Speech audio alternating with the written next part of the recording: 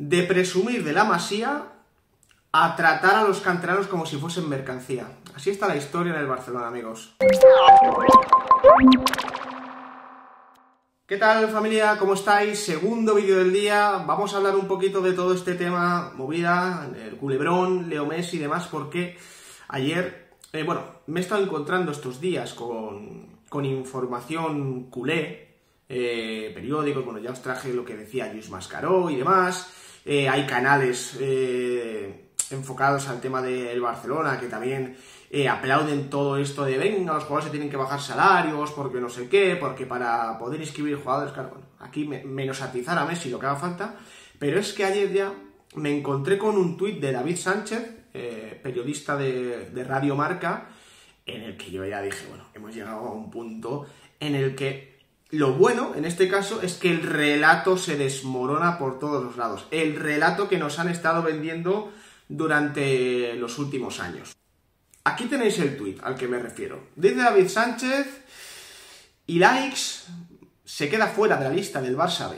O renueva o todo el año en la grada. Maravillosa decisión de la Junta. O 25 millones ahora, o que se tire un año comiendo pipas en la grada y se marche libre. Emoticono de fuego y muchísimos aplausos. Claro.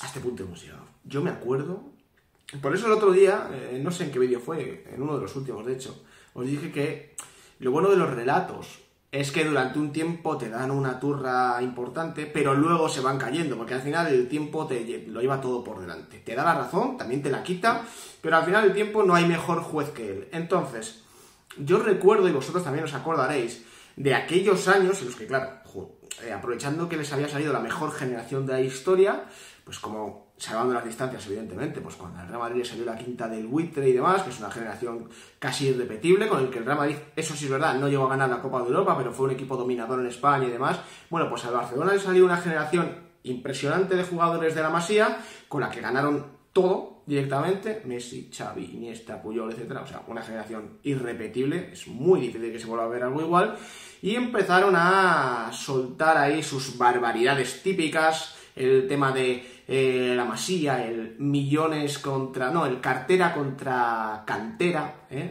haciendo ahí portadas de que el Madrid se gastaba no sé cuánto dinero, mientras el, Barça, el Barcelona ese dinero no se lo gastaba porque era todo producto de la cantera. Bueno, pues joder, ha pasado el tiempo y cómo están las cosas, es, ya os lo digo, es el tema del relato.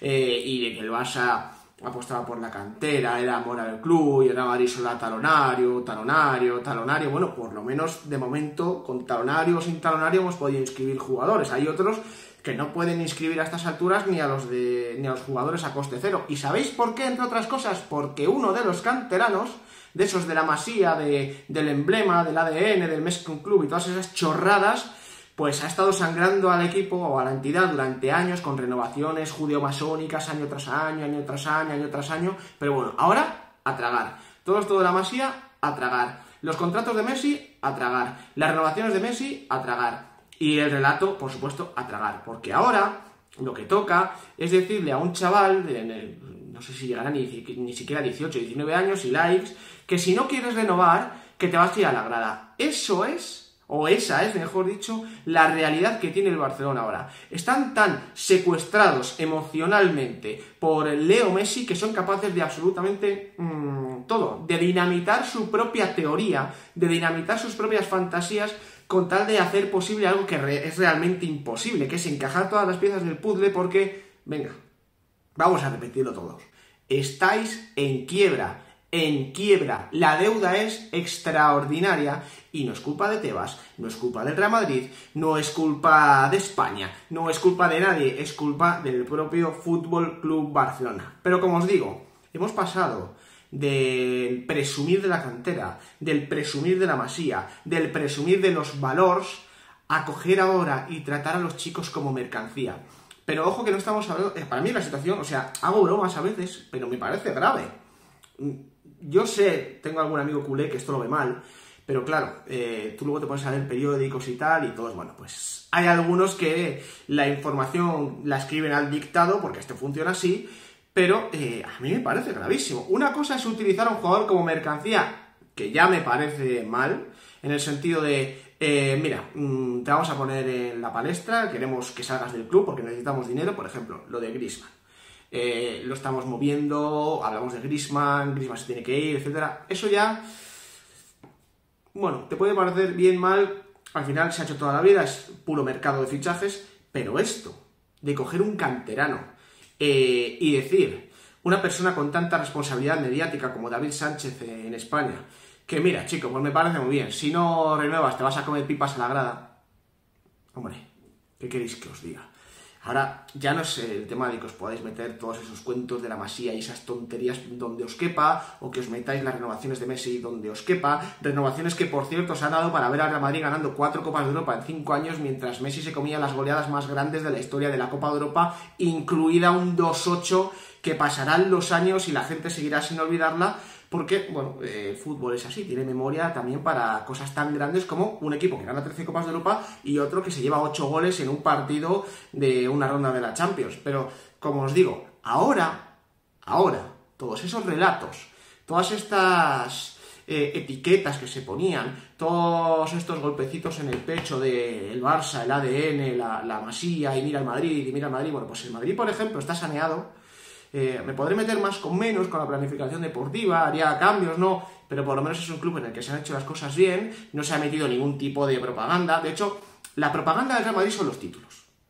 El Real Madrid tiene una propaganda basada en títulos no en cosas artificiales como que la masía, como que la cantera, como que los valores, porque luego la masía, la cantera y los valores los mandáis a tomar por culo en cuanto necesitáis dinero para poder inscribir a Messi, que es el que ha desangrado a ese club, a esa masía y a esos valores. Pero bueno, ¿quién soy yo que aparte de ser un minundi, soy madridista, para dar lecciones sobre cómo se tienen que hacer las cosas en el Fútbol Club Barcelona? Pero desde luego que señalar a un chaval, a un canterano por no querer renovar y decirle abiertamente que o renuevas o te vas a la grada, no me parece la mejor manera de cuidar los valores, la masía, el Barcelona y todo lo que conlleva el barcelonismo. Sin ser yo, repito, culé y estando bastante lejos de serlo. Pero, como os digo, allá cada uno con su filosofía, con su manera de mostrarla y con su manera de soltar los altavoces, pero cuidado que hay algunos que son bastante peligrosos. Así que hasta aquí este vídeo de hoy. Como os digo siempre, like, campanita, nos vemos en el siguiente.